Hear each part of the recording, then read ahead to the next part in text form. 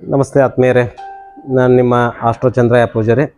ಶ್ರೀ ಸಿದ್ಧಿವಿನಾಯಕ ಗುರುಕುಲ ಮತ್ತು ವನಸ್ಪತಿ ಸಂಶೋಧನಾ ಕೇಂದ್ರದಿಂದ.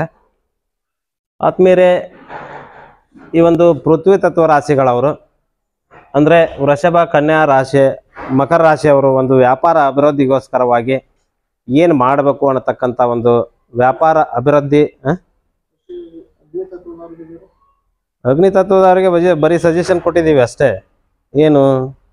ಧರ್ಮ ಕಾರ್ಯಗಳಿಗೋಸ್ಕರವಾಗಿ ನೀವು ತಂತ್ರವಿದ್ಯೆಯನ್ನು ಬಳಸಬೇಕು ಅಂತ ಹೇಳಿ ಒಂದು ಸಜೆಷನ್ನ ಕೊಡಲಾಗಿದೆ ಅವರಿಗೆ.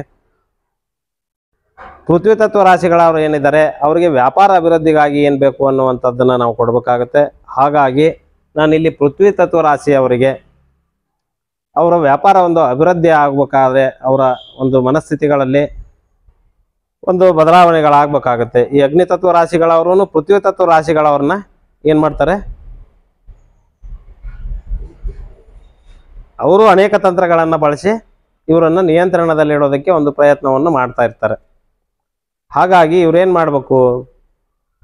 ಇವರ ಮೇಲೆ ನಿಯಂತ್ರಣ ಹೇರುವುದು ಒಂದು ಒಂದು ಭಾಗ ಆದರೆ ವ್ಯಾಪಾರಿಗಳು ವ್ಯಾಪಾರಕ್ಕೋಸ್ಕರವಾಗಿ ಬೇರೆಯವರ ಮೇಲೆ ಪ್ರಯೋಗಗಳನ್ನು ಮಾಡಿ ತಮ್ಮ ವ್ಯಾಪಾರ ಅಭಿವೃದ್ಧಿ ಆಗಲಿ ಅಂತ ಹೇಳಿ ಅನೇಕ ತಂತ್ರಗಳನ್ನು ಬಳಸ್ತಾ ಇರ್ತಾರೆ. ಆ ಎಲ್ಲ ಒಂದು ತಂತ್ರಗಳಿಂದ ಇವರು ಹೊರಬಂದು ಇವರ ವ್ಯಾಪಾರ ಅಭಿವೃದ್ಧಿ ಆಗೋದಕ್ಕೋಸ್ಕರವಾಗಿ ಒಂದು ಟಿಪ್ಸನ್ನು ಕೊಡೋದಕ್ಕೆ ನಾನಿಲ್ಲಿ ಒಂದು ಈ ವಿಡಿಯೋನ ಮಾಡ್ತಾ ಇದ್ದೀನಿ. ಮೊದಲನೇದಾಗಿ ಏನು ಮಾಡಬೇಕು ಅಂತ ಕೇಳಿದ್ರೆ, ತಮ್ಮ ವ್ಯಾಪಾರ ಸ್ಥಳ ಅನ್ನತಕ್ಕಂಥದ್ದು ಏನಿರುತ್ತೆ, ಅಂಗಡಿ ಆಗಿರಬಹುದು ಫ್ಯಾಕ್ಟ್ರಿ ಆಗಿರಬಹುದು ಈ ವ್ಯಾಪಾರ ಸ್ಥಳದ ಮುಖ್ಯ ದ್ವಾರ ಅನ್ನತಕ್ಕಂಥದ್ದು ಏನಿರುತ್ತೆ, ಈ ಮುಖ್ಯ ದ್ವಾರದ ಎರಡು ಬದಿಯಲ್ಲಿ, ಮುಖ್ಯ ದ್ವಾರದ ಮುಂದೆ ಎರಡು ಬದಿಯಲ್ಲಿ, ಬೆಳಗಿನ ಹೊತ್ತಿನಲ್ಲಿ, ಬೆಳಗಿನ ಜಾವದಲ್ಲಿ ಒಂದಿಷ್ಟು ಗೋಧಿ ಹಿಟ್ಟು, ಸ್ವಲ್ಪ ಸ್ವಲ್ಪ ಸ್ವಲ್ಪ ಸ್ವಲ್ಪ ಗೋಧಿ ಹಿಟ್ಟನ್ನು ಇವ್ರು ಏನಂತ ಕೇಳಿದ್ರೆ ಮನಸ್ಸಿನಲ್ಲಿ ಮಹಾಲಕ್ಷ್ಮಿಯನ್ನು ಪ್ರಾರ್ಥನೆ ಮಾಡಿ, ಇಲ್ಲಿ ಯಾರು ಈ ಕಡೆ ಮುಂದೆ ಬರ್ತಾರೋ ಅವರೆಲ್ಲ ಈ ಕಡೆ ಆಕರ್ಷಿತವಾಗಲಿ ಅಂತ ಹೇಳಿ ಮಹಾಲಕ್ಷ್ಮಿಯಲ್ಲಿ ಪ್ರಾರ್ಥನೆ ಮಾಡ್ಕೋಬೇಕು.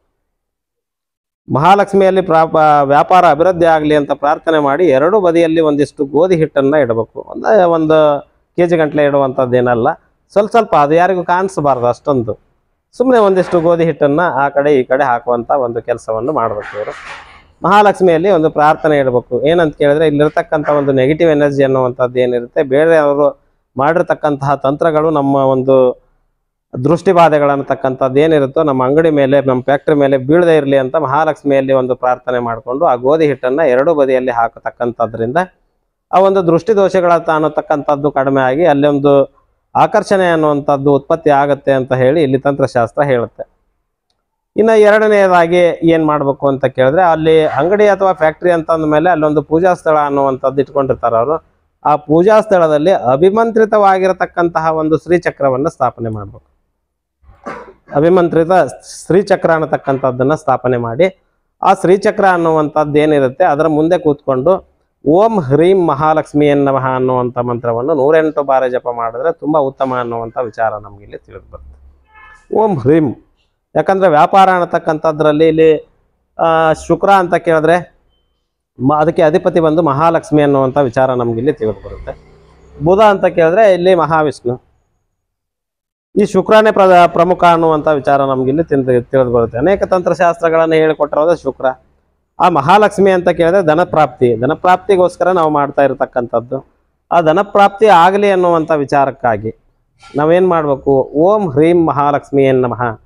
ಅಥವಾ ಓಂ ಹ್ರೀಂ ಅಂದ್ರೂ ಸಾಕು. ಓಂ ಹ್ರಿ- ಹ್ರೀಂ ಅಂತ ಕೇಳಿದ್ರೆ ಇಲ್ಲಿ ವಿಷ್ಣು ಅಂತ ಕೂಡ ಗೊತ್ತಾಗುತ್ತೆ. ವಶೀಕರಣ. ವಿಷ್ಣುವಿಗೂ ಕೂಡ ಹ್ರೀಂಕಾರ ಅನ್ನುವಂಥದ್ದೇ ಬರುತ್ತೆ. ಮಹಾಲಕ್ಷ್ಮಿಗೂ ಕೂಡ ಹ್ರೀಂಕಾರ ಅನ್ನುವಂಥದ್ದೇ ಬರುತ್ತೆ. ಹಾಗಾಗಿ ಓಂ ಹ್ರೀಂ ಅಂತಕ್ಕಂಥ ಮಂತ್ರವನ್ನು ನೂರೆಂಟು ಬಾರಿ ಜಪ ಮಾಡುವುದರಿಂದ ಅತ್ಯುತ್ತಮವಾಗಿರತಕ್ಕಂಥ ಲಾಭ ಇವರಿಗೆ ಪ್ರಾಪ್ತಿ ಆಗುತ್ತೆ ಅನ್ನುವಂಥ ವಿಚಾರ ನಮಗಿಲ್ಲಿ ತಿಳಿದು ಬರುತ್ತೆ. ಇನ್ನು ಮೂರನೇ ತಂತ್ರ ಏನು ಅಂತ ಕೇಳಿದ್ರೆ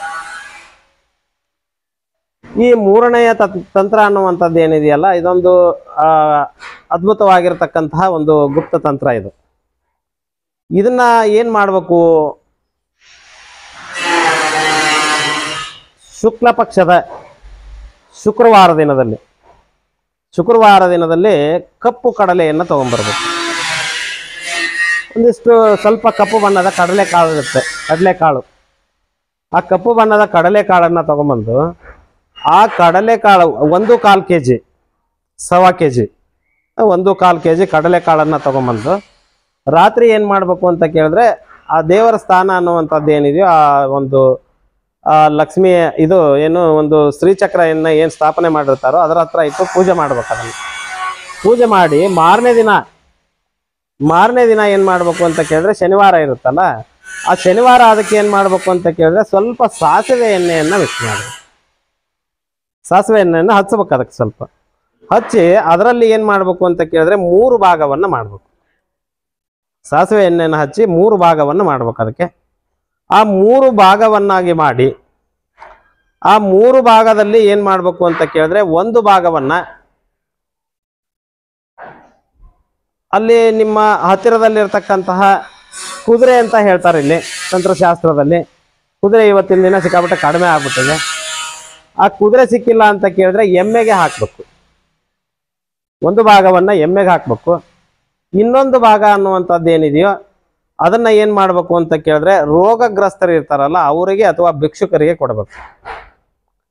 ಮತ್ತೊಂದು ಭಾಗ ಅನ್ನುವಂಥದ್ದು ಏನಿದೆಯೋ ಆ ಮೂರನೇ ಭಾಗದಲ್ಲಿ ಆ ವ್ಯಕ್ತಿ ಏನಿರ್ತಾನೆ ಅವನಿಗೆ ಅವನ ತಲೆಯ ಸುತ್ತಲೂ ಕೂಡ ಏನಂತ ಕೇಳಿದ್ರೆ ಅದನ್ನ ಮೂರು ಬಾರಿ ದೃಷ್ಟಿ ತೆಗಿಬೇಕು, ದೃಷ್ಟಿ ತೆಗೆದು. ಅಂದ್ರೆ ಈ ಈ ರೀತಿಯಾಗಿ ಒಂದು ಮೂರು ಸಾರಿ ಸುತ್ತುವಂಥದ್ದು, ಈ ರೀತಿಯಾಗಿ ಮೂರು ಸತ್ತ, ಈ ರೀತಿಯಾಗಿ ಮೂರು ಸಾರಿ ಅದನ್ನ ದೃಷ್ಟಿ ತೆಗೆದು, ಅದನ್ನ ತೊಗೊಂಡು ಹೋಗಿ ನಾಲ್ಕು ದಾರಿ ಸೇರಿದಲ್ಲಿ ಇಟ್ಟು ಬರಬೇಕು ಅನ್ನುವಂಥದ್ದು ಈ ತಂತ್ರಶಾಸ್ತ್ರ. ಇದರ ಒಂದು ವಿಚಾರ ಏನಂತ ಕೇಳಿದ್ರೆ ಬೇರೆಯವರು ನಿಮಗೆ ಮಾಡಿರ್ತಕ್ಕಂತಹ ಆ ಗುಪ್ತ ತಂತ್ರಗಳೇನಿರುತ್ತೆ ಬೇರೆಯವರು ನಿಮಗೆ ಮಾಡಿರ್ತಕ್ಕಂತಹ ಬಾಧೆಗಳೇನಿರುತ್ತೆ, ನಿಮ್ಮ ಅಂಗಡಿಗೆ ಬರದೇ ಇರುವಂಗೆ ಏನು ಅಂತ ಮಾಡುವಂಥದ್ದು, ಇವತ್ತಿನ ದಿನ ಅದೆಲ್ಲ ನಡೀತಾ ಇದೆ, ನೋಡ್ತಾ ಇದ್ದೀಯ ನೀನು.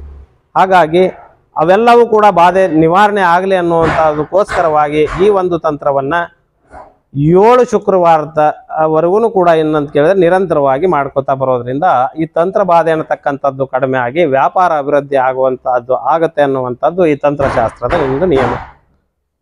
ಇದಿಷ್ಟು ಏನಂತ ಕೇಳಿದ್ರೆ ವ್ಯಾಪಾರಿಗಳಿಗೋಸ್ಕರವಾಗಿ ಒಂದು ಮಾಡಿರ್ತಕ್ಕಂಥ ಒಂದು ತಂತ್ರ. ಈ ತಂತ್ರ ಅನ್ನುವಂಥದ್ದು ಅದ್ಭುತವಾಗಿ ಕೆಲಸ ಮಾಡುತ್ತೆ. ಹಾಗಾಗಿ ಏನಂತ ಕೇಳಿದ್ರೆ ಈ ಒಂದು ಅಭಿಮಂತ್ರಿತ ಶ್ರೀಚಕ್ರ ಅನ್ನತಕ್ಕಂಥದ್ದು ಏನಿದೆಯೋ, ಅದು ನಿಮ್ಮ ಹತ್ತಿರ ಲಭ್ಯ ಇದ್ದರೆ ಹತ್ತಿರದಲ್ಲಿ ನಿಮ್ಗೆ ಯಾರಾದರೂ ಅಭಿಮಂತ್ರಿತವಾಗಿ ಒಂದು ಶ್ರೀಚಕ್ರವನ್ನು ಬರೆದು ಅದನ್ನು ಅಭಿಮಂತ್ರಿಸಿ ಕೊಡೋರಿದ್ರೆ ಅದನ್ನು ನೀವು ತಗೊಂಡು ನಿಮ್ಮ ವ್ಯಾಪಾರ ಸ್ಥಳದಲ್ಲಿ ಇಟ್ಕೊಂಡು ನೀವು ಮಾಡಬಹುದು. ನಿಮಗೆ ಅಲ್ಲಿ ಲಭ್ಯ ಇಲ್ಲ ಅಂತ ಕೇಳಿದ್ರೆ ಕೇಳಿದ್ರೆ ನಮ್ಮನ್ನು ಸಂಪರ್ಕ ಮಾಡಿದ್ರೆ ನಾವು ಅಭಿಮಂತ್ರಿತ ಶ್ರೀಚಕ್ರ ಮತ್ತೆ ವ್ಯಾಪಾರ ಅಭಿವೃದ್ಧಿಗೋಸ್ಕರವಾಗಿ ಒಂದಿಷ್ಟು ತಂತ್ರ ತಂತ್ರ ಅಂತ ಕೇಳಿದ್ರೆ ವನಸ್ಪತಿಗಳನ್ನ ಸೇರಿಸಿರತಕ್ಕಂತಹ ಒಂದಿಷ್ಟು ತಾಂತ್ರೋಕ್ತವಾಗಿ ತಯಾರಿಸಿರತಕ್ಕಂಥದ್ದು. ಏನು? ವನಸ್ಪತಿಗಳನ್ನ ಸಿದ್ಧಿಯ ದಿನದಲ್ಲಿ ನಾವು ತಗೊಂಡ್ಬಂದು ಅದನ್ನ ಸಂಗ್ರಹಣೆ ಮಾಡಿ ಅದಕ್ಕೆ ನಿಮ್ಗೆ ಏನಂತ ಹೇಳಿದ್ರೆ ಈ ಒಂದು ಊದು ಅಂತ ಏನ್ ಬರುತ್ತೆ? ಸಾಂಬ್ರಾಣಿ. ಸಾಂಬ್ರಾಣಿಯಲ್ಲಿ ಸೇರಿಸಿ ಅದನ್ನ ಹಾಕೋದ್ರಿಂದ ದೃಷ್ಟಿ ದೋಷಗಳು ಕೂಡ ಅಲ್ಲಿ ಕಡಿಮೆ ಆಗುತ್ತೆ ಅನ್ನುವಂಥ ವಿಚಾರ ಕಂಡು ಬರುತ್ತೆ. ಅಭಿಮಂತ್ರಿತ ಶ್ರೀಚಕ್ರ ಮತ್ತು ವನಸ್ಪತಿಗಳಿಗೋಸ್ಕರವಾಗಿ ನಿಮಗೆ ಲಭ್ಯ ಆಗದೇ ಇದ್ದರೆ ನೀವು ನಮ್ಮನ್ನು ಸಂಪರ್ಕ ಮಾಡಿದ್ರೆ ನಾವು ಅದಕ್ಕೊಂದಿಷ್ಟು ಚಾರ್ಜ್ ಮಾಡ್ತೀವಿ.